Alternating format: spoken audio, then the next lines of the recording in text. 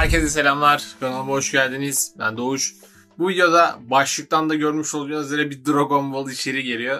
Dragon Ball, Dragon Ball nasıl diyorsanız artık fark etmez. Benim ağzım Dragon diye alışmış. Öyle söylüyorum. Ama diğerini söylemeyebilirim. Söyleyemediğimden kaynaklı değil. Alışkanlık meselesi. Bu videoda benim izlerken kullandığım rehberi sizlerle paylaşmak istiyorum. Ben 3-5 farklı siteden araştırarak optimize ettiğim bir izleme sıram vardı. Bana izlerken faydası olmuştu. Onu sizlerle paylaşmak istiyorum. Serinin adını söyleyeceğim. Hangi bölümden sonra izlemeniz gerektiğini ya da hangi aralıkta izlemeniz gerektiğini. Yanına da Mailmelis'ten görselini eklerim buraya. Oradan rahatlıkla bulabilmeniz açısından. Unutmazsam yapım yılında eklerim tabii ki ama zaten benim izlediğim sıra yaklaşık olarak çıkış tarihine odaklı bir sıraydı. Hem hikaye açısından da öyle oluyordu hem de çıkış açısından da dengelenmiş bir sıralamaydı. O zamanlar öyle bir sıra bulmuştum. İzlerken olan olayları anlamanız oldukça çok rahatlatacak. Aklınıza soru işareti bırakmayacak bir sıra olacak. Ben çok uzattım kusura bakmayın. Videonun devamına geçmeden önce videoyu beğenip kanala da abone olursanız sevinirim.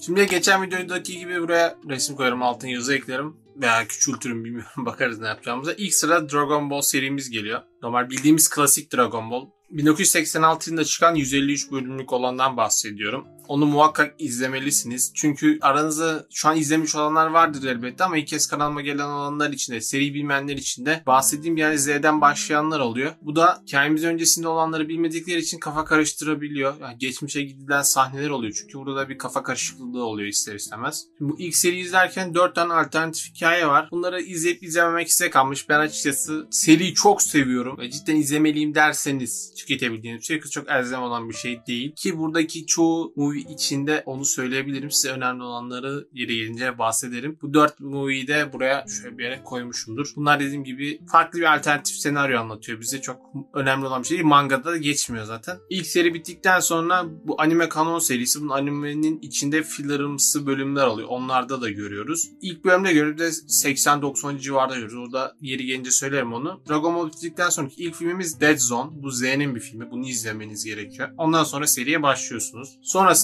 birinci bölümden 86. bölüme kadar izliyorsunuz. Bunu izledikten sonra bir special bölümümüz var. Bunu görmeyen çok kişi olabiliyor. izlemeyen de olabiliyor. Bunun Türkçesi var mıydı hatırlamıyorum ama İngilizcesinde olsa izlemenizi öneririm. Çünkü çok güzel bir hikaye anlatıyor. Bunu ileride bir filmde falan da görüyoruz zaten ama spoilersız bir şekilde söyleyeceğim için filmde falan görüyoruz gibi tabirleri kullanabilirim. Bardock The Father of Goku Special bölümü var. Bunu izlemeniz gerekiyor ki bu 86. bölümden sonra zaten Bardock'la alakalı bölümler oluyor. Bardock kimdir, neyin nesidir tarzı şeyler görüyoruz. Ondan dolayı öncesinde bölümü izlemeniz faydalı olacaktır. Bundan sonra 87'den 107. bölüme kadar olan kısmı izliyorsunuz. Bundan sonra da Episode of Bardock filmini izliyorsunuz. Ki bu da oldukça güzel bir filmdir. Ben severim açıkçası. Bundan sonra 3 tane Dragon Ball Z filmi geliyor. Bunları da sırasıyla söyleyeceğim sizlere. Bunları izleyebilirsiniz ama filmi izlemeniz elzem değil atlayabilirsiniz. Ama ben izledim açıkçası. İzlerken de keyif aldım. Seriyi sevenler için olan bir şey bu. Seri sevmiyorsanız direkt filler olan kısımları belirten siteler var. Oradan bakıp fillerler atlaya atlaya veya mangasından gidebilirsiniz ki burada hazır yeri gelmişken değineyim. Dragon Ball Z'de fillerler var. Fillersız versiyon Dragon Ball Kai ve Kai 2014. Onları izleyebilirsiniz. Dediğim şeyleri izlemenize gerek yok. Direkt Kai'yi izleyebilirsiniz. Bana ne Dragon Ball'un filminden veya fillerlarından derseniz evreni ve atmosferi sevdiğim için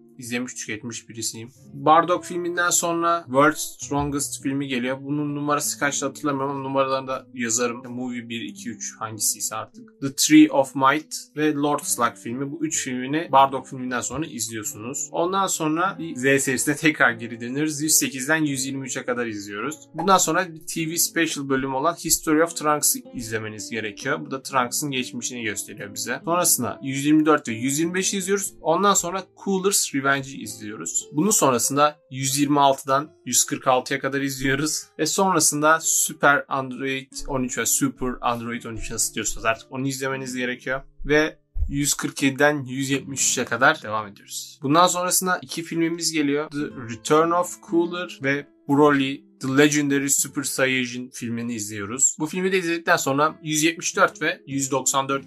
bölümleri izliyoruz. Yani 174'ten 194'e kadar. Sonrasında bir filmimiz daha var yine Bojack Unbound. Bunu da izledikten sonra 195'ten 207'ye kadar olan kısmı izlememiz gerekiyor. Sonra yine bir filmimiz geliyor. Aralara film geliyor. Çünkü benim izlediğim liste böyle. Ben faydasını gördüm açıkçası. Seri bittikten sonra filmleri izlemek çok açıkçası hoşunuza gitmeyebiliyor. Çünkü e, bu biraz spoiler olacak ama bu karakterler güçleniyor ediyor. Formlar oluyor, teknikleri oluyor. Örnek veriyorum siz en son halini çok güçlü gördüğünüz filmi izliyorsunuz ve o teknik yok yapabileceğini biliyorsunuz ama aslında o zaman da yapamıyordu ve huzursuzluk ve tatminsizlik hissi oluşuyor. O yüzden ben bu sırayı öneriyorum biraz da. 195 ile 207 arasını söylemiştik. Bundan sonraki filmimiz Broly Second Coming filmi olacak. Sonrasında 208'den 250. bölüme kadar olan kısmı izliyoruz. Sonrasında ise Bio Broly filmini izliyoruz. Sonrasında 251'den 253'e sonrasında Fusion Reborn filmini izliyoruz. Bu filmi de izledikten sonra 254'ten 288'e geliyoruz. Sonrasında Wrath of the Dragon. Dragon. Nasıl inşallah doğru telaffuz etmişim. Onu izleyip Sonrasında da Z serimizi kalan bölümleri birlikte tamamlıyoruz. Bundan sonra bir adet Dragon Ball'un Special Ova tarzı bir bölümü vardı. Direkt ismi Japonca'ya ben burada bırakmışım. Umarım doğru söyleyebilirim. Telaffuzum doğru olur. Zenbu Misemasu Toshi Wasure. İnşallah doğrudur. Yazarım buraya zaten Onu izliyoruz. Bundan sonrasında serimiz bitmiş oluyor aslında. Bundan sonra GT bölümleri başlıyor. Bu mangada geçen bir kısım değil. Seri sevenlerin okuyup izleyebileceği bir şey. Ben açıkçası izledim. Güzeldi kötüydü. İzlenebilecek bir şey. Kesin %100 izleyin diyeceğim bir şey de seri sevenlere önerebileceğim bir şey olur. Bunun da kendi bölümleri var. Sonrasında special bölümleri var. Onları izleyebilirsiniz. Bunlar farklı bir evrende geçiyor. Yani farklı bir alternatif devam ediş hikayesi olarak düşünebilirsiniz. Bunun devamı zaten Super serisi başlıyor ama o zamanlar Super serisi olmadığı için GT yapmışlardı. Uzun bir aradan sonra Super serisi çıktı. Asıl devam olarak görülen seri o zaten şu an. Yanlışım varsa yorumlarda yazarsanız sevinirim. Yani uzun bir süre oldu çünkü bu kısımları izleyelim. Ya belki yanlışlarım olmuş olabilir. Bundan sonrasında ise çok bir şeyimiz kalmıyor. Super serisi var. Super serisinden ben açıkçası animesini izlemedim. Ben mangasını okuduğum için denk gelen yerleri zaten mangada Broly'de söylüyor. Diğerlerini söyleyip söylemeden hatırlamıyorum. Oradan bakıp izleyebilirsiniz. Ben okuduktan sonra denk geldiği yere bakıp izlemiştim zaten. Animeden gidenler için ise direkt söyleyeyim buradaki veri zaten doğru. İlk 3 bölümü izliyorsunuz. Sonra Battle of the Gods moviesini izliyoruz. Sonrasında 4'ten 18'e kadar. Sonra Resurrection F bölümün izlemeniz gerekiyor. Ondan sonra da seriyi bitiriyoruz zaten süper olan kısmını. Daha sonrasında filmler başlıyor. Film olarak Broly filmi var ki bence oldukça güzel, başarılı bir filmdi. Ki bu Z'nin son birkaç filmi açısından söyleyecek olursam Z'nin son birkaç filmi bende yer ayırdı. Daha güzel, daha hoşuma giden bölümler. Şu an tam net verdiğim puan hatırlamıyorum ama hatırladığım kadarıyla böyleydi. Verdiğim puanları söylemek çok hoş değil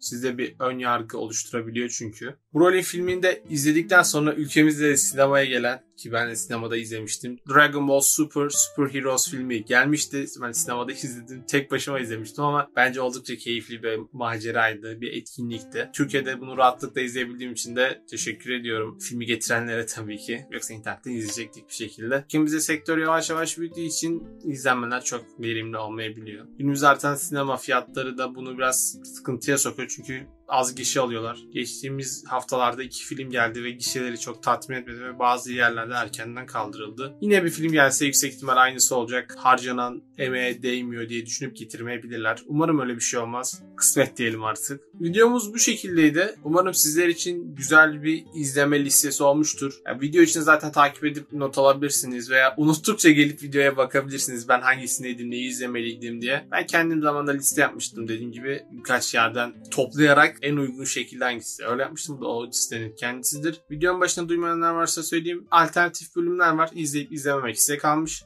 4 film. Fillersız olan Z yani bunu izleyebilirsiniz. Fillerları ve Dragon Ball Z filmlerini atlayabilirsiniz. Tercih size kalmış tabii ki. Ben şahsen Z'yi izlemenizi öneririm. Buraya kadar gelen varsa da ayrıca teşekkür ediyorum. Videomuz bu şekildeydi. Eğer videoyu beğendiyseniz beğenmeyi, kanala abone değilseniz de abone olursanız sevinirim. Başka yapmamı istediğiniz bu tarz içerikler varsa yorumlarda belirtirseniz sevinirim. İyi günler dilerim.